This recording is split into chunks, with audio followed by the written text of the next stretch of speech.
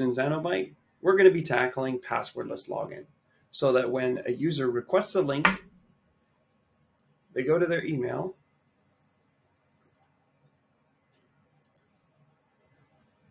click, click the link in their email, and it automatically logs them in to the site. So let's learn how to build that. Let's hop in to Webflow first and um, deal with a few attributes that we need to add. So we have to add an attribute on the form input of email, and we need to give this a passwordless. Uh, this is just giving it a Wized attribute, passwordless email, and then we have a button attribute, and we're giving that a passwordless login button. Attributes pretty straightforward. The only one that's a little bit different here is we also have a whole page and that is we're calling it our magic login page.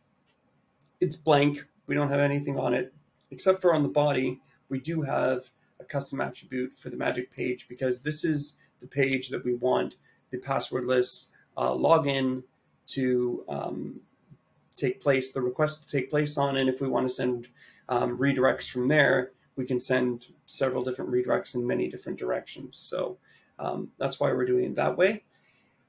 Next, we're going to go into uh, Xano. Now, the first thing with Xano is they actually have a great um, setup for Magic Link and their um, in their marketplace and their and their. But this video here on YouTube, I will link to it. This is where you should start. This is how you set up step by step how to set up Magic Link with SendGrid into Xano. So once it's in Xano, um, and so how you go in to do that is you just follow the instructions on the video, but it's here in your marketplace under user authentication, and there's Magic Link with SendGrid. And once you um, get everything, um, you'll get an extension that you can configure, and it'll show you how to configure everything. Um, the only thing that you might want to look at is your redirect URI, which is that's our magic login page on our website. So that is what your uh, URI is. Um, so we will hop into the API and just take a look and see what it's doing and what we need. So if we go into um, the API, Magic Link is a group that gets created. Now this is important because if you have other auth, like you started with passwordless or password and, and email auth, um, where you probably did uh, with Emmanuel's um, uh, tutorials, then you're going to need to use a new API group um, uh, in, in, in Wized. So as far as that, you're going to grab your API group base URL here. You're going to pop into Wized, go into My Apps, and then you're just going to create a new app. And I've called mine uh, Xano um, Magic Link, and then your app. Uh, you choose Xano as your uh, thing, and then you will ha- and then you will pop in the um, the URL there. It's very straightforward, but that is the app that we're going to be using in Wized. Back to Xano. There's two basic things that are happening here. The first is your endpoint for requesting a magic link. So this requires an email field. So this is what's going to be hooked up to our form. So when we go into Wized, set that up first. We're going to have a data out and we want this passwordless email request is what I created. That's what I called it. And we're going to use that Xano Magic Link app. And then we're going to use the uh, URL endpoint from Xano. So it's this one right here. Just copy that. And then we pop that back into that's our URL endpoint. And then we uh, it's post method. And then the key is email.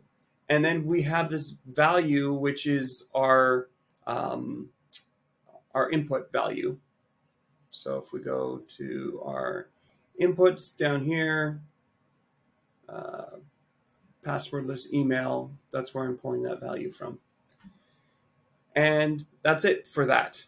So what this does, this is going to do the first step, and that is going to be to send our first email out. So then we just click.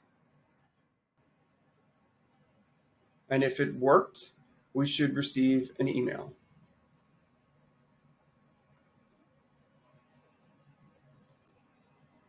And there it is. Next, what we're going to do is we're actually going to click this link here because this link is going to give us a bunch of information that we're going to need next. Once we click this link, you'll see that there's a token in the um, in the URL.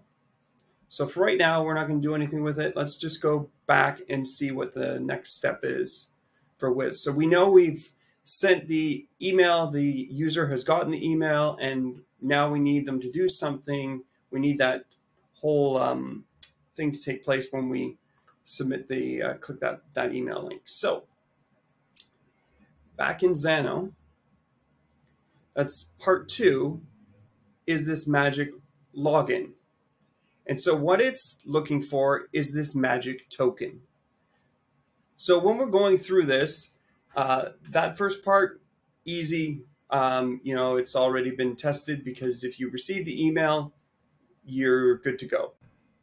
So let's hop back into Wized and create another data out request. So this time we're going to exchange the magic token for the auth token. That's what we're doing here. So we're going to use our app, our Xano Magic Link, the, the app we created. The URL endpoint is back in Xano. If we go, where we're looking at the exchanges magic token for auth token.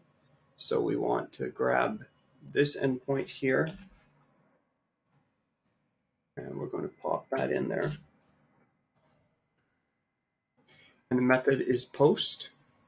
And then for the input, we'll go back, take a quick look at Xano here, and we see that it is asking for a magic token. Now keep in mind it's magic underscore token, which we need to copy exactly because that is what the key is for that, and the keys have to match.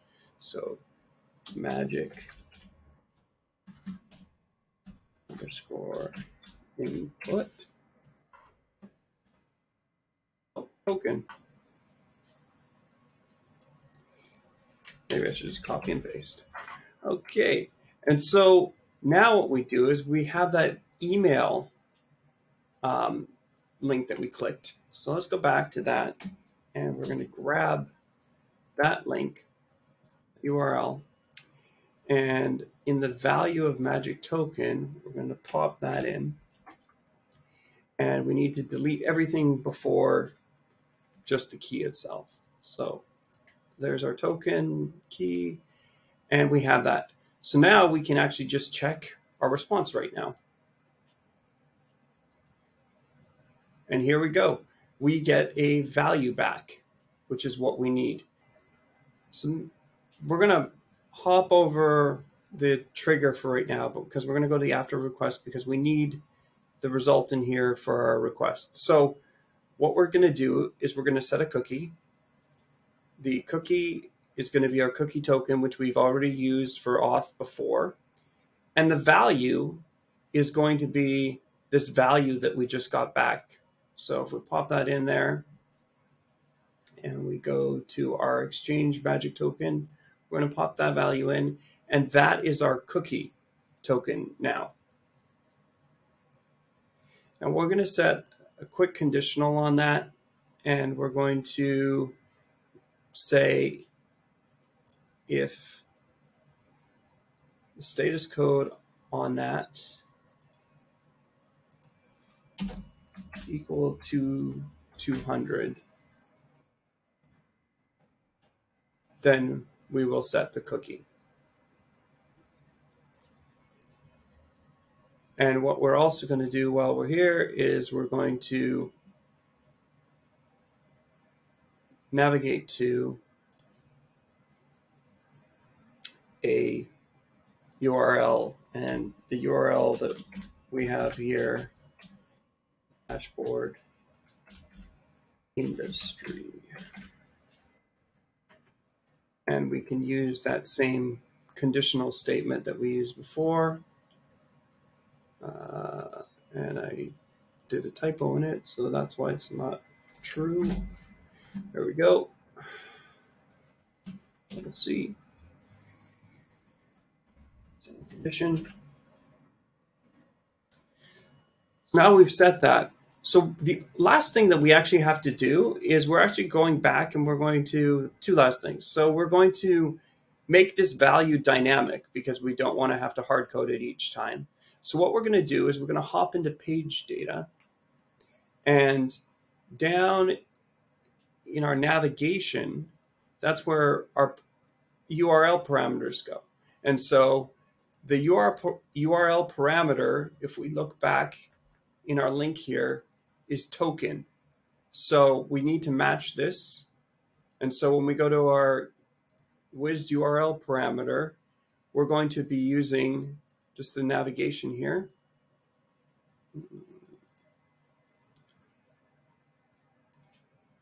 We're going to be using token. So we've setting the URL parameter token there. If we go back to our data out and our exchange, we're going to swap this for that parameter token. So now it's dynamic. It's going to be looking at the URL endpoint and looking for this particular token. And then the last, very last thing we're going to do here is we are going to select a trigger and we're going to say on page load. And we're going to select that magic page attribute that we created for just the page itself. It's in here somewhere.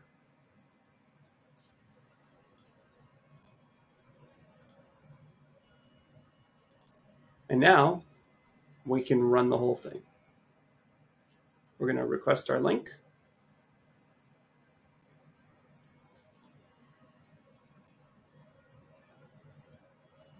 We're going to get our password. We're going to sign in with Magic Link. And it's going to automatically redirect us. And that's it. Hopefully that was helpful. Uh, if you have any questions, drop them in the uh, comments below and I will try to help out.